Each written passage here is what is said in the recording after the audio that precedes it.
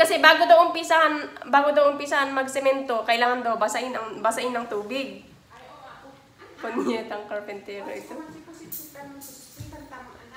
Eh, wala nga pusit-sit eh. Bigyan nyo ng tubig ang carpentero nyo. Ano ba naman itong mga helper ko? Bago daw umpisahan magsemento, kailangan daw basahin ng tubig. O di basahin natin tubig.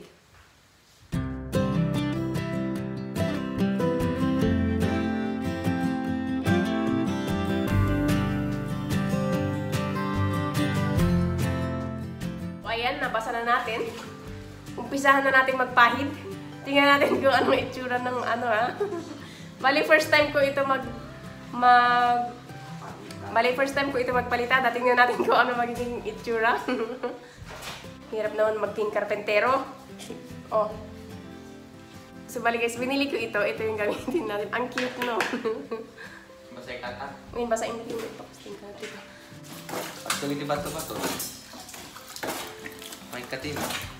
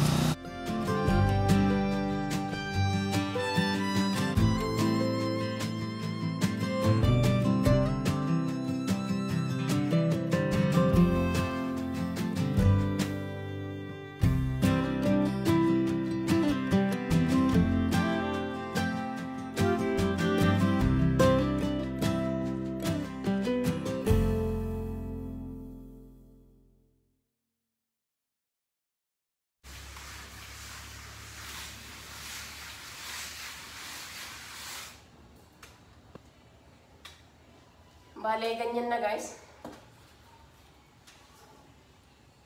Napakinis naman natin siya. Ganyan ang itsura niya. Bahala na si skim coat.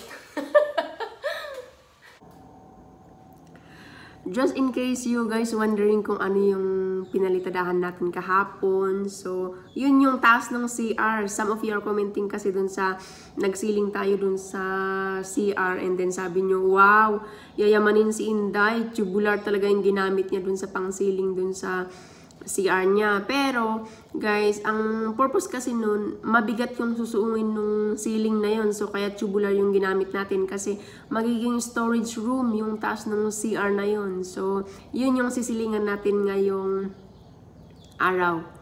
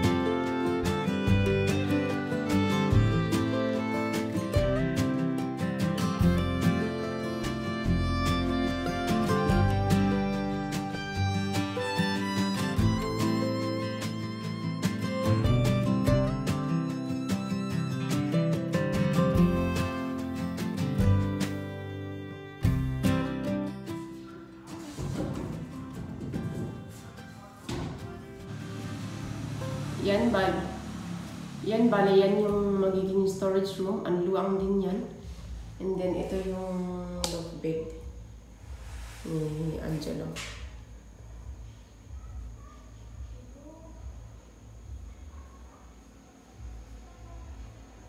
Yan, ang luang ng room na to.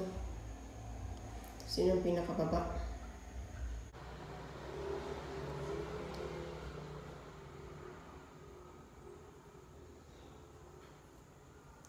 Bale, tapos na guys. Tapos na nating mai mailagay lahat ng Hardy Flex. Grabe. Parang 10 times ang ang pagod ko. wala kasi akong helper ngayon, wala sila mama, hindi sila nagpunta. Baka may inasikaso sila sa bahay o baka naglabas sila. So, mag-isa ko lang nagtrabaho magmula kahapon. So, grabe, pag ceiling ang trabaho guys, parang ano, nangangatituloy ilong ko. So, yun guys, ang pangyayari ngayong araw na to, officially tapos na ang ating ceiling. Ganyan ang itsura.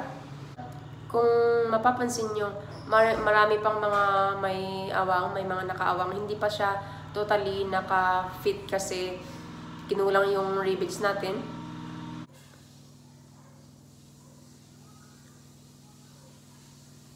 Kung mapapansin nyo, ang, luwang dito sa kwarto niya.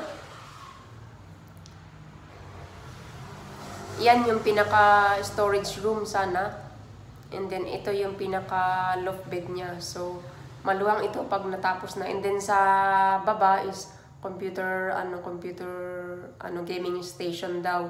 Yun ang pinaka-pangarap niyang gusto niya mangyari sa buhay niya. Pero, hindi ko alam kung kailan maisa sa katuparan yung mga ganong gusto niya. Pero, sana tuloy-tuloy ang ating trabaho. Walang umi-interrupt-interrupt sa mga projects natin para tuluyan nang matapos itong bahay. Parang, para hindi naman, para hindi naman magmukhang budiga talaga.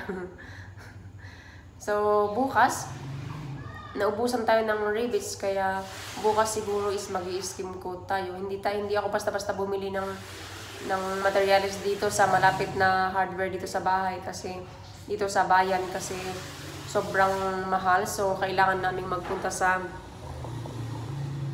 sa city. Sa city kami bumibili ng mga materials pero wala pa kasi yung wala akong driver so Ewan ko kung kailan tayo makakabili ng rebates. Pero bukas, siguro mag skim coat tayo. Yun yung mga kaganapan natin bukas. So, yun lang yung mga kaganapan natin ngayong araw, guys. Bye-bye and I hope to see you next video.